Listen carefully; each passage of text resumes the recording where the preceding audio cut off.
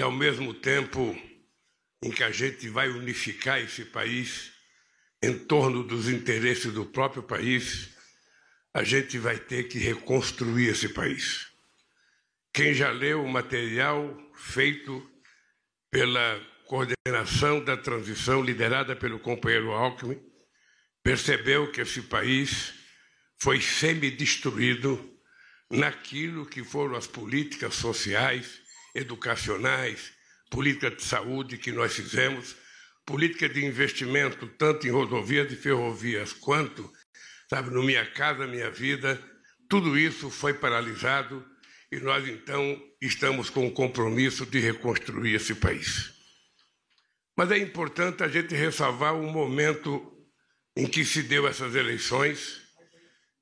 as eleições mais difíceis que eu acho que todos nós participamos, uma quantidade em dinheiro difícil de ser mensurada em reais, quem sabe seja necessário mensurar em dólar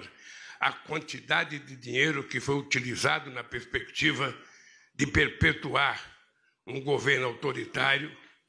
um governo que é responsável pela morte de grande parte das 700 mil pessoas que morreram no Covid por desleixo, por desrespeito